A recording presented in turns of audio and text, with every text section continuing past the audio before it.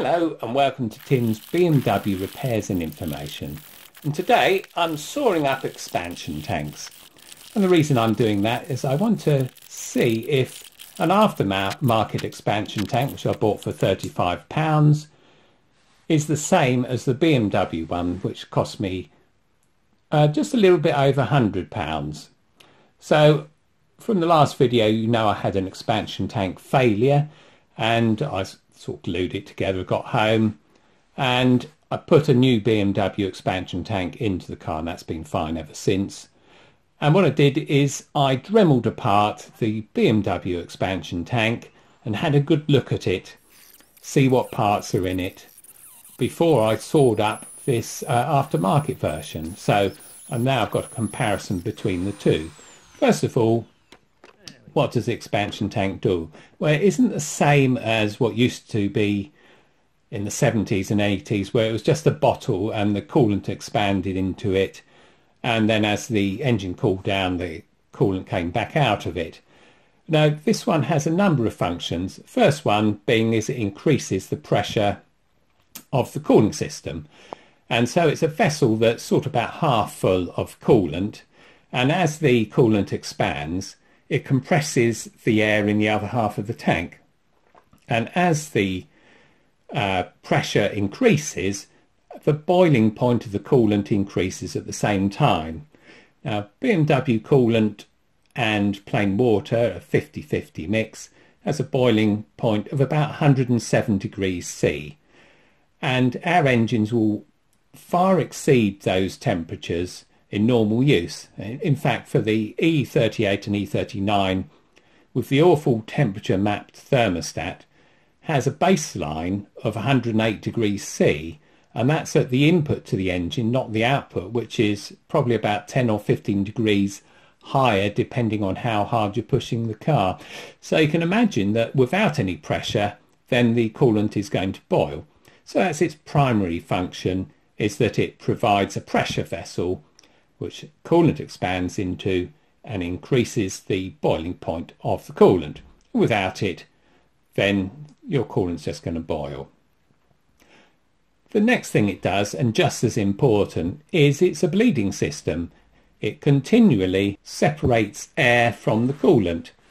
And it does this by taking a bleed line off of the top of the radiator, which is meant to be the highest point of the cooling system which isn't because as we uh, uh, as I showed in the cooling system series, the heater system's higher. But for the sake of the engine, that's the highest point, and it will be at that point that any error will accumulate. And so how the system works is it continually circulates coolant through the expansion tank, comes in from the top of the radiator, through the bleed line into the top of the expansion tank, and it exits the expansion tank at the bottom, which runs the water pump. And so coolant is continually circulating. Now what the expansion tank has is a double walled pipe, and I'll show you one here, uh, where the coolant runs down one side of it from the bleed line, and the coolant will exit from a small hole in that pipe, and the air will return up the other half of the pipe, up the other side of the wall, to the top of the expansion tank. And that means that it just continually removes air from the coolant. And that's quite important, especially on air cars where the heater system's higher and you can get pockets of air and it, it will slowly remove the air from the coolant and uh, the air will just be in the top of the expansion tank. And if you had a lot of air in the system, you'll find that the level of coolant slowly drops as that air is pulled out of the system and then you have to refill it. Okay, so the other thing it's got in the tank is separate sections. Um, and there they have walls between these sections that the coolant can't pass through apart from ver uh, the very bottom of the wall. And so that means that air is much less likely to pass across there. And it's got two sections before it reaches the exit to the water pump. So it has to go through one section into the next section and then finally to the water pump outlet. So you can imagine that air's not going to want to go through that path. And finally what it has in there is a pickup for the water pump outlet which only lets coolant enter it from the very bottom of, of the tank. And that's much less likely to have air in it or any bubbles. So you can imagine that the expansion tank's quite a complicated structure. And from what you look at from the outside, it may be that the aftermarket version just doesn't have all these separate parts, doesn't have a double walled pipe, doesn't have a special pickup for the water pump and so on. Well, on the 35 pound one I've just sawn apart, I can tell you that it has all the right parts in it. it has the se separate sections, has the pickup for the water pump, has a double walled pipe. In fact, the double walled pipe has O-rings at both ends. It really is a good bit of engineering and that is going to work well. I can't see any way that the BMW tank is any better than it.